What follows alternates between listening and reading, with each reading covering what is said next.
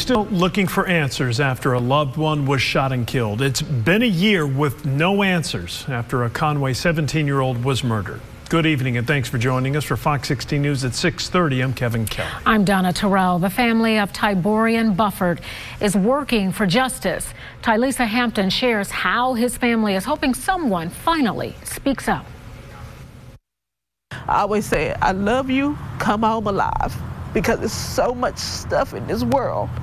You never know. Mother of seven, Takesha Stokes' worst fear came to reality. He didn't come back alive this time. On February 19, 2022, Conway police were called to the Stone Ridge at Conway apartment complex. When they arrived, they found Stokes' 17-year-old son, Tyborian Bufford, on the ground, shot and killed. I don't know what he could have did or if he heard something because he wasn't into anything. Stokes did not believe it was real since she had seen her son hours before. He was at home.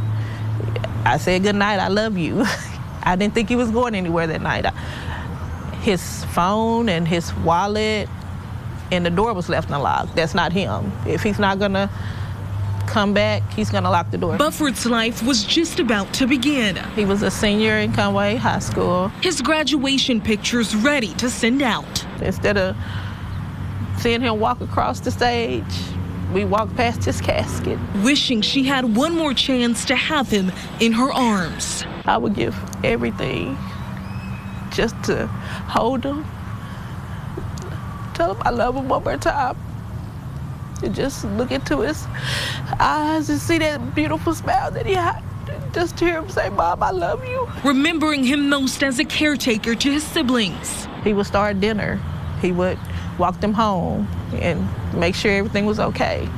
They're not, that's not there anymore. Stokes' agony heavier as no arrests have been made, wanting Bufford to finally get justice and a change to happen. I just hope that we have more control over guns and stuff like that because it's a senseless act.